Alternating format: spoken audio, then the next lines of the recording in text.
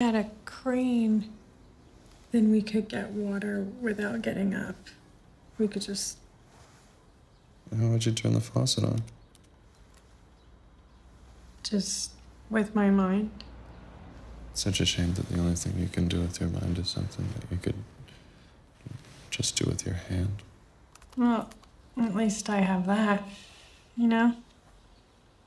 You can't really do anything special with your mind.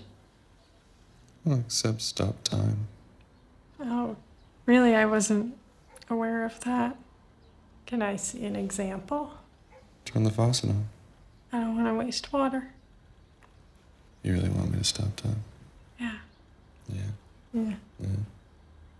All right. One.